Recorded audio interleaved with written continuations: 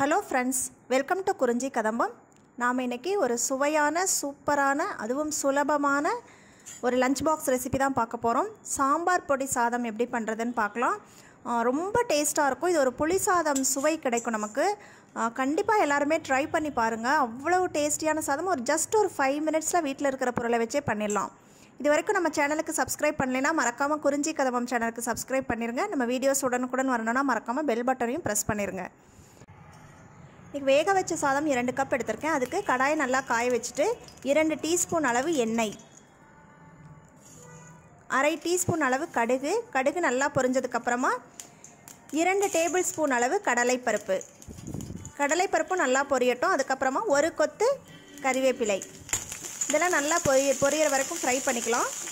அதுக்கப்புறமா வெங்காயம் சேர்க்க போகிறோம் வெங்காயம் வந்து அரை கப்பில் இருந்து கால் கப் எவ்வளோ வேணாலும் சேர்த்துக்கலாம். வெங்காயம் நிறையா சேர்த்தா நல்லா டேஸ்ட்டாக இருக்கும். பிடிக்காதுன்னா கால் கப் சேர்த்துக்கோங்க. நான் எனக்கு அரை கப் அளவு வெங்காயம் சேர்த்துருக்கேன்.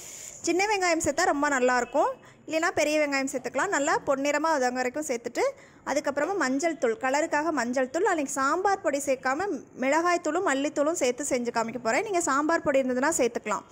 ஸோ இதுக்கு வந்து ஒரு இரண்டு டீஸ்பூன் அளவு மல்லித்தூள். தேவையான அளவு உப்பு. காரத்திற்கேற்ப மிளகாய்த்தூள். ஆக்சுவலாக எங்கள் கொங்கு நாடு ஸ்டைலில் சாம்பார் பொடி ரொம்ப டேஸ்ட்டாக இருக்கும். அப்படி இருந்ததுன்னா நீங்கள் எதுவுமே உப்பும் சாம்பார் தூளும் சேர்த்தா போதும். பட் நிறைய பேருக்கு சாம்பார் தூள் எப்படி பண்ணுறதுன்னு தெரியாது. இல்லை சாம்பார் தூள் இல்லை அப்படின்னா அதுக்காக நான் சிம்பிளாக மிளகாய்த்தூளும் தனியாத்தூள் மட்டும் வச்சு சொல்லியிருக்கேன். ஸோ ம கலருக்கு மஞ்சள் தூள் காரத்திற்கு மிளகாய்த்தூள் சுவைக்கு தனியாத்தூள் அப்புறம் உப்பு. இது எல்லாமே போட்டு அந்த எண்ணெயிலேயே நல்லா ஃப்ரை பண்ணிக்கணும். இப்போ ட்ரை ஆன மாதிரி இருக்கும். நீங்கள் ஒரி பண்ண வேண்டாம். இப்போ நம்ம உதிரி உதிரியாக வடித்து வச்சுருக்கிற சாதத்தை சேர்த்துக்கலாம். நான் ரெண்டு கப் அளவு சாதம் எடுத்திருக்கேன். நல்லா சாதத்தை எப்போவுமே இந்த மாதிரி வெரைட்டி ரைஸ் செய்யும்போது சாதத்தை நல்லா ஆற வச்சிடணும். அப்போ தான் வந்து அது பொல பொலன்னு இருக்கும். ஸோ சாதம் ஃபுல்லாக சேர்த்தாச்சு. சேர்த்துட்டு கிளறும் போது எப்போவுமே அடியிலேருந்து அப்படி மேலே தூக்கி போடணும்.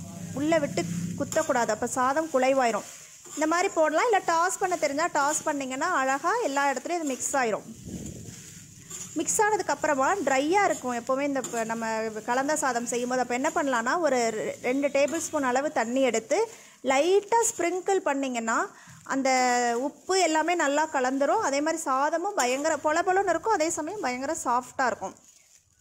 பாருங்கள் நல்லா கலந்துருச்சு எல்லாமே. இன்னும் கொஞ்சம் நேரம் ஆகும்போது உங்களுக்கே டிஃப்ரென்ஸ் தெரியும் பாருங்கள் எப்படி இருக்குன்னு. இப்போ ஒரு ரெண்டு டேபிள் ஸ்பூன் அளவு தண்ணி எடுத்து நல்லா லைட்டாக அப்படி தெளி தெளித்து விடணும். ஸ்ப்ரிங்கிள் பண்ணிவிட்டு இங்கே ஒரு தட்டு போட்டு ஒரு ஃபைவ் மினிட்ஸ் சிம்மில் வச்சு மூடி வச்சுருங்க. அப்போ வந்து உப்பு காரம் எல்லாமே அந்த தண்ணியோடு சேர்ந்து இந்த மூடி வைக்கும்போது அந்த தட்டில் ஆவிப்பட்டு அந்த தண்ணியும் சேர்ந்து நல்லா சாஃப்டாக எல்லாமே கலந்து வந்துடும் பார்த்தீங்கனாலே தெரியும். முதல்ல ட்ரையாக இருக்கும். இந்த மாதிரி பண்ணும்போது பயங்கர சாஃப்டாக இருக்கும் சாதம்.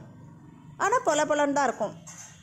மதியம் எடுத்துகிட்டு போகிறதுக்கு வந்து ரொம்ப நல்லாயிருக்கும் ரொம்ப ட்ரையாக இருந்ததுன்னா நான் சாப்பிட்றதுக்கு தொண்டையில் சிக்கிற மாதிரி இருக்கும். பாருங்கள் எப்படி இருக்குன்னு. சூப்பராக ஒரு இது வந்து மிளகு பொடி சாதம்னு எங்கள் ஊர் சைடு சொல்லுவாங்க. மிளகுபடினா சாம்பார் பொடி. ஸோ சூப்பராக சாம்பார் பொடி சாதம் ரெடி ஆகிடுச்சு கண்டிப்பாக எல்லாருமே ட்ரை பண்ணி பாருங்கள் அவ்வளவு சுவையாக இருக்கும். ஒரு புளி சாதம் சாப்பிட்ட டேஸ்ட் இருக்கும். இப்போ பாருங்கள் கம கமன்னு ஒரு வாசம் வேறு வருது. ஸோ சூப்பரான சாம்பார் பொடி சாதம் இல்லைன்னா மிளகு பொடி சாதம் இல்லைன்னா இதை மகாராஷ்டிராவில் வந்து போட்னி பாத்துன்னு சொல்லுவாங்க. அந்த மாதிரி ஒரு வெரைட்டி ரைஸ் ரெடி ஆயிடுச்சு நீங்களும் ட்ரை பண்ணி பார்த்துட்டு எப்படி இருக்குன்னு உங்கள் ஃபீட்பேக்கை மறக்காமல் சொல்லுங்கள் கண்டிப்பாக ட்ரை பண்ணி பாருங்கள் இதுக்கு கோ கோம்போன்னு பார்த்தீங்கன்னா இது ஒரு காரசாரமான ஒரு சாதம். நல்லாயிருக்கும் காரம் சாரமாக இதுக்கு வந்து மைல்டான ஒரு பொரியல் பண்ணிங்கன்னா நல்லாயிருக்கும் ஒரு முட்டைக்கோஸ் கூட்டு இல்லை புடலங்காய் பொரியல். அந்த மாதிரி மைல்டாக இருக்கணும். நான் முன்னாடி நேற்றுக்கு பார்த்தீங்கன்னா கத்திரிக்காய் பொரியல் போட்டிருந்தேன். அதுக்கு வந்து லைட்டான சாதத்துக்கு அது மாதிரி காரசாரமான பொரியல் நல்லாயிருக்கும் காரசாரமான சாதத்துக்கு லைட்டான பொரியல் நல்லாயிருக்கும் ஸோ புடலங்காய் பொரியல் சீக்கிரமாக ஷேர் பண்ணுறேன் ஸோ எல்லாருமே செஞ்சு பார்த்துட்டு எப்படி இருந்ததுன்னு உங்கள் ஃபீட்பேக்கை கமெண்ட்டில் சொல்லுங்கள் மறக்காமல் பிடிச்சிருந்ததுன்னா லைக் பண்ணுங்கள் ஃப்ரெண்ட்ஸோட ஷேர் பண்ணுங்கள் தேங்க்ஸ் ஃபார் வாட்சிங் வாழ்க வளமுடன்.